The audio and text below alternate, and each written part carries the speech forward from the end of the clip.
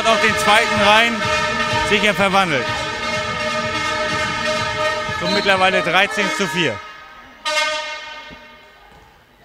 Sie Meter verwandelt, Berlin zu 13 zu 4.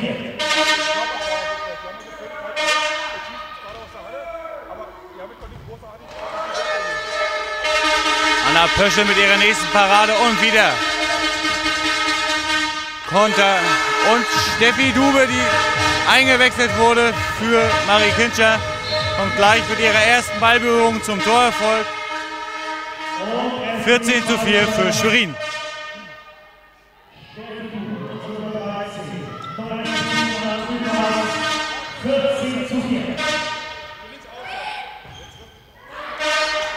Und erneut Anna Pöschel, die von der Linksaußenwerferin der Nummer 7 den Ball ganz sicher hält und jetzt ganz ruhig den Ball ins Spiel bringt und Schwerin wieder über eine Kombination zum Torerfolg kommen möchte.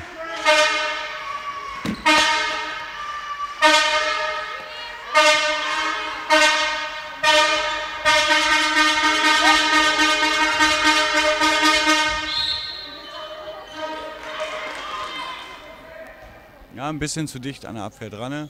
Daher der 9 Meter für leichtes Stoßen. Beide Halbspielerinnen sind heute noch nicht so richtig, richtig in Fahrt.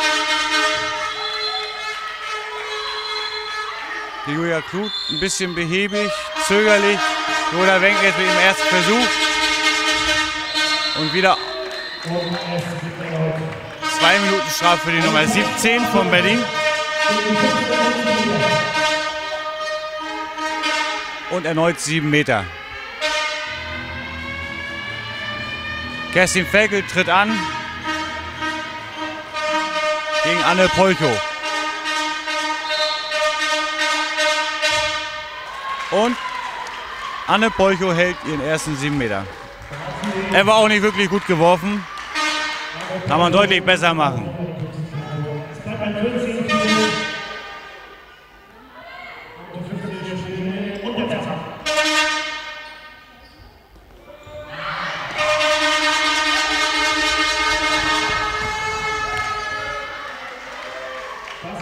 Geht mir fast schon zu schnell. Technischer Fehler von Berlin.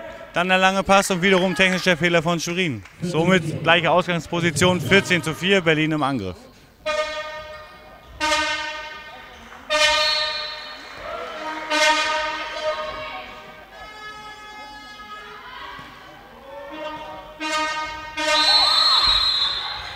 Und erneut technischer Fehler, Schrittfehler angezeigt. Habe ich genauso gesehen. Jetzt wäre die erste Stelle Vorwärtsbewegung. Schlechte Passauswahl. Also somit auch hier wieder ein technischer Fehler. Und wir haben jetzt schon eine ganze Menge technische Fehler. 10 auf Berliner Seite, 8 auf Schweriner Seite. Kann nur besser werden. 7 Meter, 2 Minuten. Habe ich genauso gesehen. Nummer 18, Tini Schröder, muss für 2 Minuten vom Platz.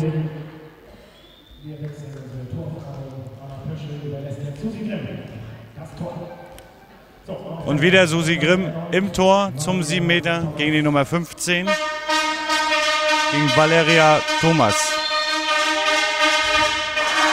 Und auch der zweite sitzt nicht.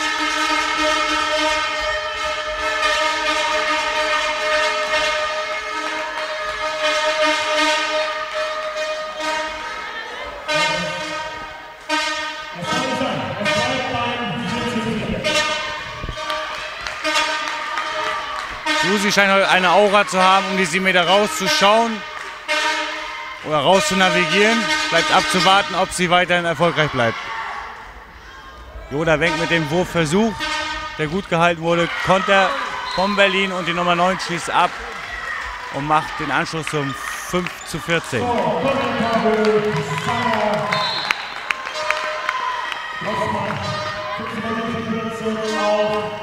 zu 14.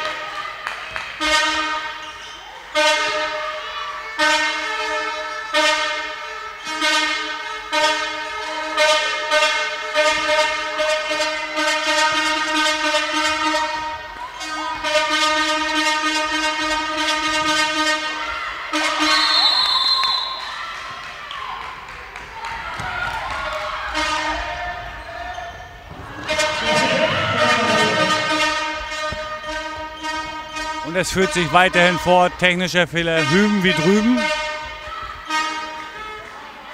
Wo ich Schwerin gar nicht nervös sein müsste. Sie spielen klar 5 gegen 6 in Unterzahl. Aber sie sollten eigentlich mannschaftlich geschlossen sein, äh, ja, geschlossen sein, um auch dieses Problem gegen sechs Berlinerinnen zu lösen.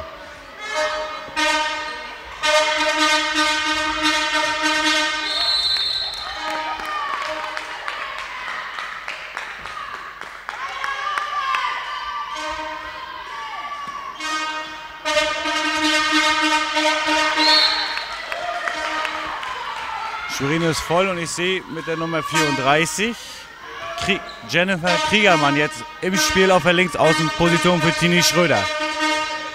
Und wieder passives Spiel angezeigt von den Torhütern. Guter Wurfversuch von Julia Klut. Der bleibt am Pfosten hängen. Somit kein Tor.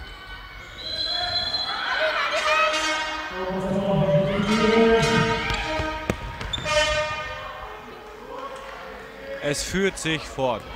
Technische Fehler, wo man hinschaut. Da kann, kann, man keine Spielerin ausnehmen. Jede Spielerin hat, glaube ich, hier gerade, die auf der Platte steht, schon einen technischen Fehler produziert. Das muss einfach weniger werden. Und der nächste technische Fehler, Fehlpass. Und ich sage es nochmal, wieder ein Fehlpass. Wenn man merkt, dass das nicht funktioniert mit den langen Pässen, sollte man sicherlich über, über die Möglichkeit des direkten Passes, Kurzpasses gehen und dann vielleicht in die zweite Welle zu kommen, als in der ersten Welle den Ball so leichtfertig zu vergeben.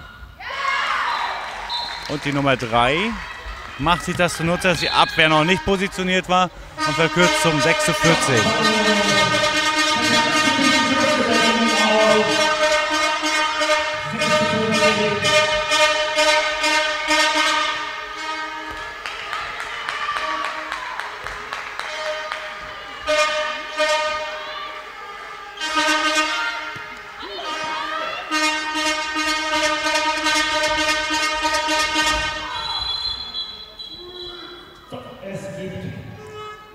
14. Kerstin, Kerstin Felkel arbeitet sich durch im 1-1 und zieht die 2-Minuten-Strafe wiederum für die Nummer 17, die jetzt beim nächsten Mal eingreifen schon aufpassen muss.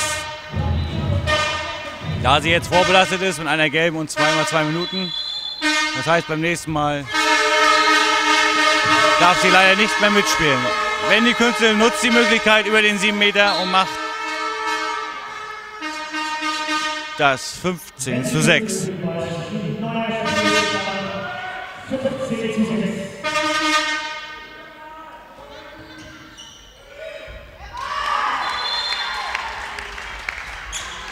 Nummer 15 hat Blut geleckt, glaube ich.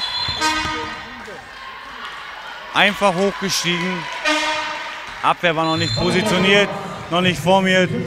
Dementsprechend schläfrig, die Arme waren noch nicht hoch zum Block.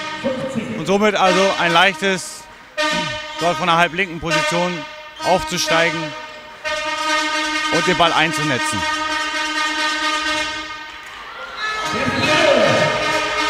Und kommt im Gegentor Steffi Dube über die Rechtsaußenposition erfolgreich zum 16 zu 7.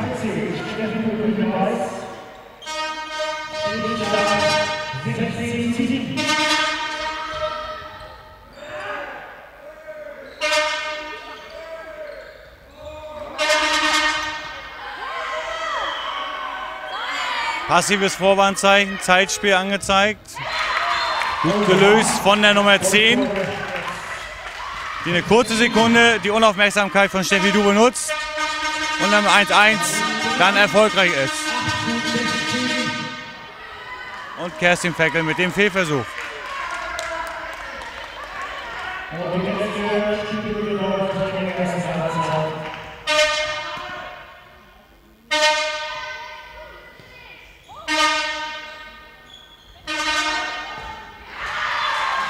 Nächster Torerfolg für Berlin, die Nummer 7 hier erfolgreich zum 16 zu 9.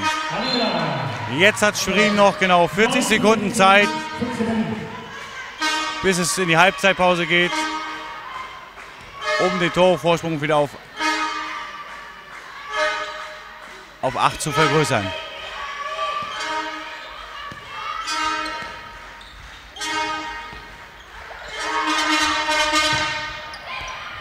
Das klappt nicht. Oder Wenk mit dem Lattenkracher.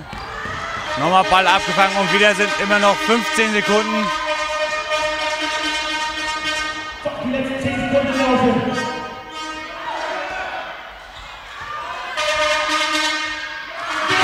Und sagenhaft, Wendy könnte mit einem Notwurf von gut 13 Metern trifft hier zum 17 zu 9.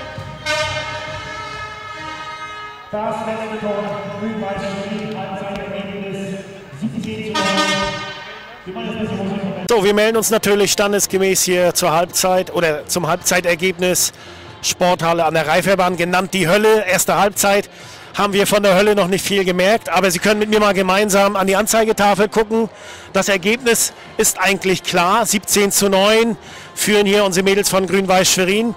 Füchse Berlin, hier die zweite Mannschaft, hat hier eigentlich gut begonnen, war auch kurz in Führung, dann war es doch sehr zerfahren, gab einen Haufen Fehlabspiele, Fehler.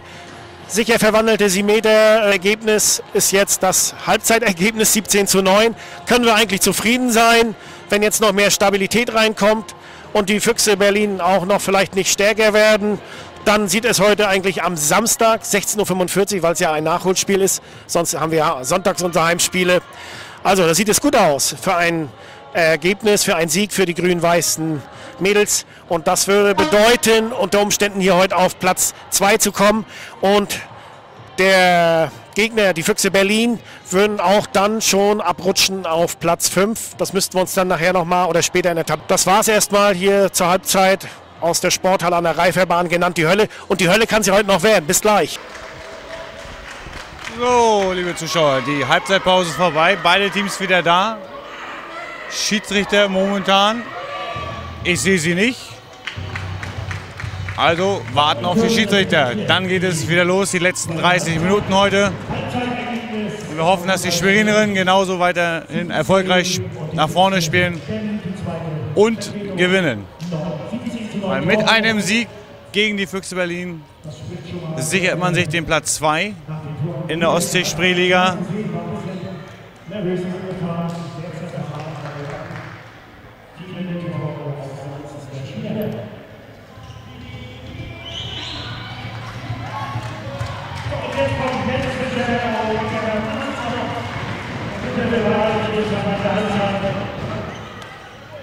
Was ist heute noch passiert hier bei Grün-Weiß? Die weibliche D-Jugend 2 verliert gegen Blau 13 zu 21. Die weibliche Jugend C spielt gegen Wismar, gewinnt 28 zu 15.